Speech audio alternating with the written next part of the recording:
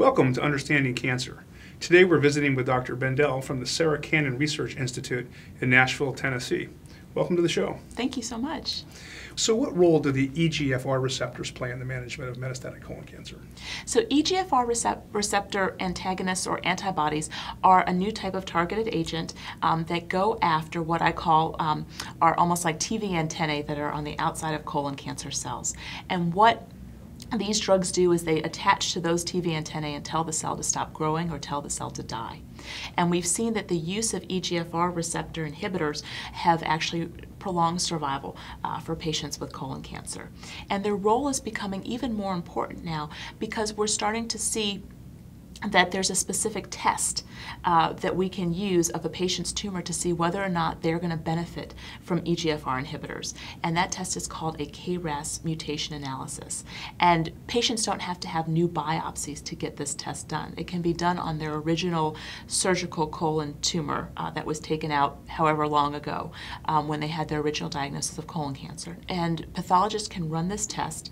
And if you are somebody who has what we call wild type KRAS, you are are very likely to benefit from EGFR inhibitors. And if you're somebody who has a mutation in their KRAS, the whole the use of EGFR inhibitors in those particular patients is not worth it. It's it's shown that the patients who have this mutation get no benefit from EGFR inhibitors.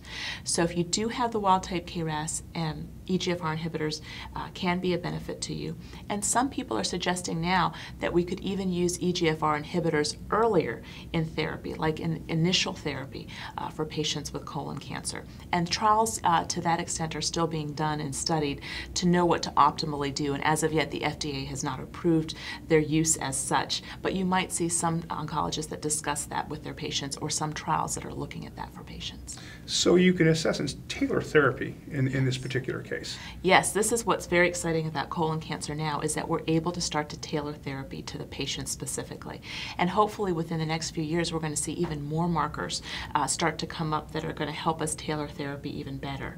Um, even with EGFR receptor inhibitors, We've seen other, um, other tests such as amphoregulin and epiregulin, PTEN mutations, PI3 kinase mutations that are all start and BRAF mutations, which are all starting to give us some suggestion as to who might may or may not respond to EGFR inhibitors and who might be the optimal patient to receive an EGFR inhibitor.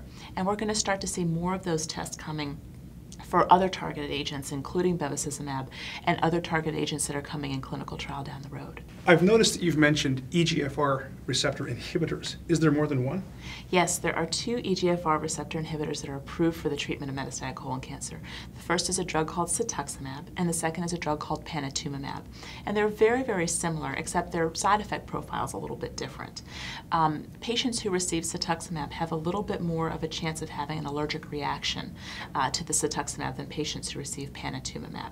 Yeah, in summing up, is there anything in particular you'd like to tell cancer patients with metastatic colon cancer that they should really think about when they're diagnosed? Don't give up hope. Never suffer in silence. Always tell your doctor something's going on because there's oftentimes something people can do about it. And try clinical trials because there's so many good trials that are out there that are going to be the way that we find the cure to metas- treating metastatic colon cancer. Well, it sounds like very good advice, and I really want to thank you for joining us today. And I do hope you'll come back and visit with us again sometime. Thank you so much.